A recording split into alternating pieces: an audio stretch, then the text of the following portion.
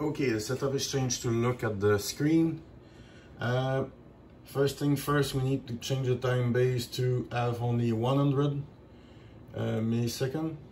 That's the, uh, the maximum limit that we could have with the logic analyzer in place. Uh, we could get rid of the analog outputs. It's, we know it works uh, and concentrate ourselves to the digital signal. Um, let's trigger on this time the uh, falling of the uh, clock. Serial clock is logic low, uh, so you need to have uh, uh, if you if you want to trace on it or trigger on it, you need to have that in place. Let's start the logic analyzer, click two time, uh, remove the unwanted trace. You could also switch to large. By the way, that's a trick. Once you uh, once you got your trace selected, you could change the place. Let's see, I could remove D7 will not be used, but you could once you got the naming and things like that, you could select one trace and move it. Uh, let's force trigger. So we have a trace. So once you got all the trace in display, you could highlight one and move it. So in our case, we will highlight the serial clock. Let's put it here. Serial data, let's put it here and the rest of it is not useful so we could get rid of it. So d6 d5 d4 d3 and d2 are removed and now we got only the two trays that we wanted right at the right place. As long as you don't change the naming and things like that they will stay there but if you do something they will drop down to or go to the top depending on the other uh, with the auto arrange auto setup I would say of the of this thing. So let me try to reset. So 100 millisecond trigger on the uh, signal. And we got um, the longest time possible to capture everything going to the signal clock. The voltage is 0 to 5 as expected we don't want to have anything logic beyond 5.5 to fry, not to fry the uh, logic board. But this is the maximum length in time that you could capture a logic signal. Uh, anything shorter is fine, but that's a maximum. Um, let's look at it in terms of sampling first. Uh, let me expand this thing to the center. It is there. Let me put this at the center.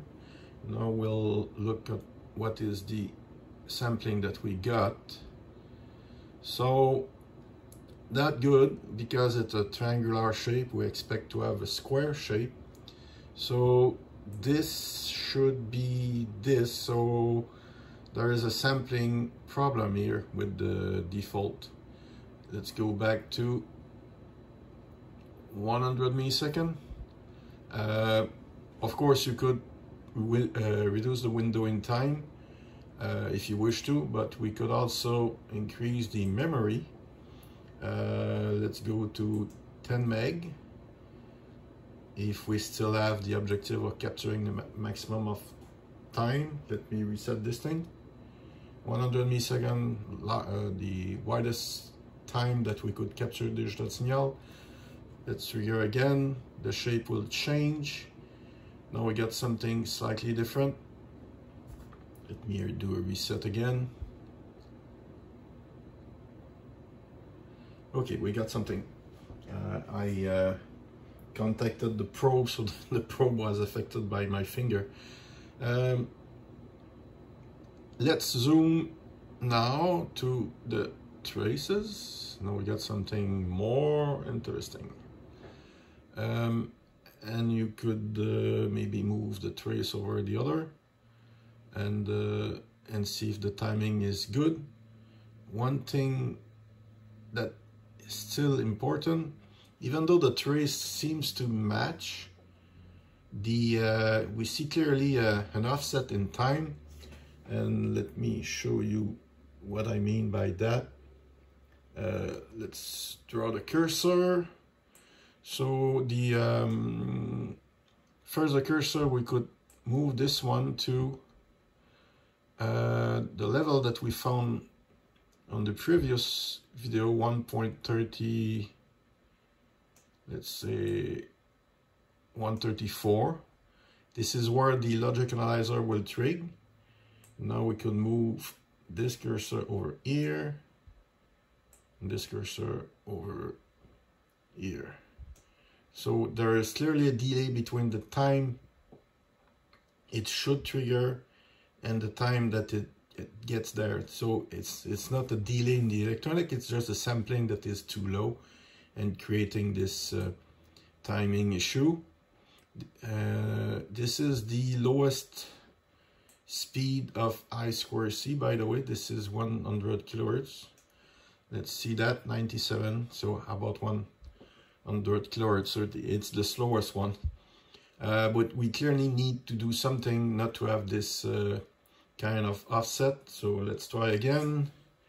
Remove the cursor.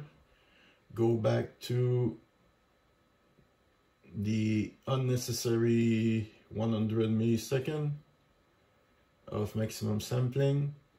And now let's increase the amount of memory to the maximum that we could have, which is 25.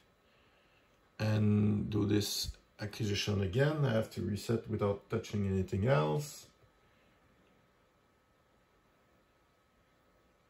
Now we got the new traces and let's expand on it. Uh, and see how it looks. Okay, so we are at, uh, let me go back, I, I don't remember exactly what was the sampling. So at time of sampling, 160 nanosecond per point. Uh, this is quite large, but that's the maximum that we could get if you don't trade off the uh, something else. Let's go to the cursor uh, and see where we are. So the triggering occur here and here, but we see a small offset again. So it it's too wide, too slow as a sampling. Uh, but now let's do something more sensible. Instead of having 100 millisecond with 160, we know the only signal is over here, so there's nothing before or after. So we could change the timing to something like this. Now we got 6 nanosecond per point. That's a good uh, starting point, even though we could reduce that thing to 10 meg. At 10 meg, we got 16. Let's try that first. So we are ready to trigger again, but with different sampling. So it's 10 times more than what we were having before. I have to press the reset button. Now we get a new trace. Let's look at that. So 16 nanosecond per point. and now it seems to be aligned let's do there look at the cursor again the cursor level is adjusted to what we expected to trigger as a level 1.34 or something and now it's perfectly aligned so the sampling is good at 16 nanosecond per point but this is for one kilohertz pulse. Uh, let me remove the cursor. Let me show you something else. That's part of the um, that's part of the uh, specification of I square C. They could change speed over time depending on the uh, uh, each device that could listen or emit as long as they talk to each other, they could change the speed to whatever they want. And we got an example of that over here. So the left part is with a clock of 100 kilohertz. But we got something interesting over here. And let's have a look at it. I have to turn the button in the right direction. So this is 1 kilohertz, 100 kilohertz, but we got something better here, or faster. And let's have a look at it. So the shape is not as good uh, because the uh, logic probe, it has um, capacitance that you you you have difficulty to remove. But basically, the the way the um, the uh, I2C work, there is a a, a pull up resistors with the capacitor that create those curves, and and and the logic when it active, it's put everything to the ground very fastly. And now if we activate the cursor with uh, the initial setup of, uh, well, zoom one more, maybe two more. Yeah, two more is probably maximum to show the effect. So the triggering will again occur at the same place and the up and down again we, we see some uh, delay between this time and the rising edge and the falling edge. If we want to look at the uh, frequency of this thing, that's the 400 kilohertz um, kind of uh, I2C that we could capture. Um, this was captured over, let's go back to the time base that we were. So it was 16. Um, we could improve further either by increasing the memory at the expense of slowing down the scope. Now we got six. We could also uh, decrease the width. Well, we're, we're probably at the maximum. Let's me put this over here. 6 nanosecond with the, this time base. If I increase a little bit to 2 milliseconds for the entire window, I got everything in place. And now the sampling is 2 nanosecond. If I go back to 10 meg, it's 6. And if I go to 25, that's the maximum sampling uh, that we could achieve with this two millisecond of uh, time base, two, two millisecond per this per division, 10 division uh, to capture the entire event. Let's trigger again. So we got a bunch of new traces, uh, nicer, nicer traces. Let's move to the right.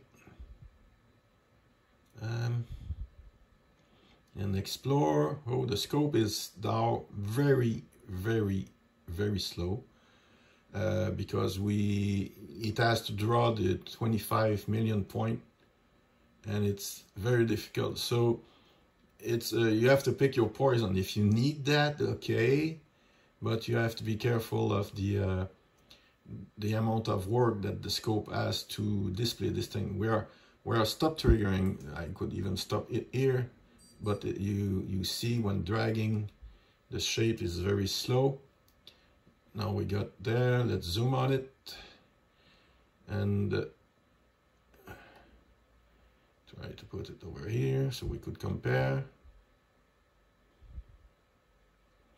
So now we got something that is more aligned at this sampling rate uh, 10 nanosecond per point or 3 or 2 let's activate the cursor again. Uh, maybe one notch more of zoom. Yeah so triggering occur when the level of the analog reach 1.32 or something.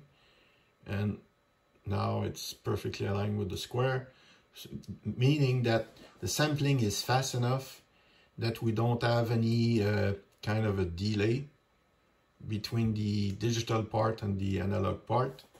And uh, it has some effect uh, if you want to do fast traces when you want to decode that thing. That will be the next uh, demonstration on this